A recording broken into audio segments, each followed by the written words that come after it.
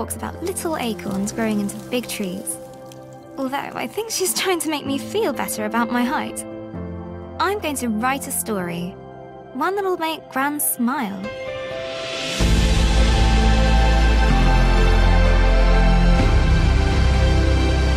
I want her to be proud of her little acorn.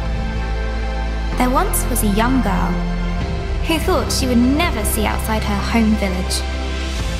But the land of Astoria had other ideas. It had great and terrible adventures planned for her.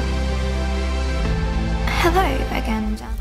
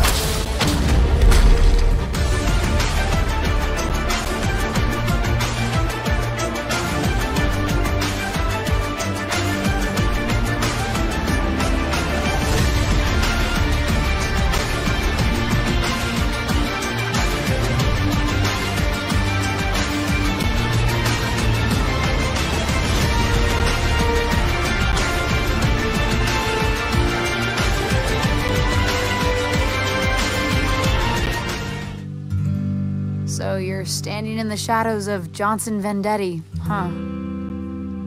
It ain't so bad. It's just that I guess folks think they know who I am, where I should be going.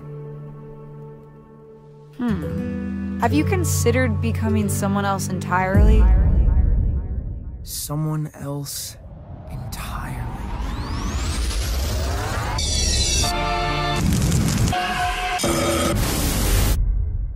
I've decided to create the most elaborate stage persona the world has ever seen.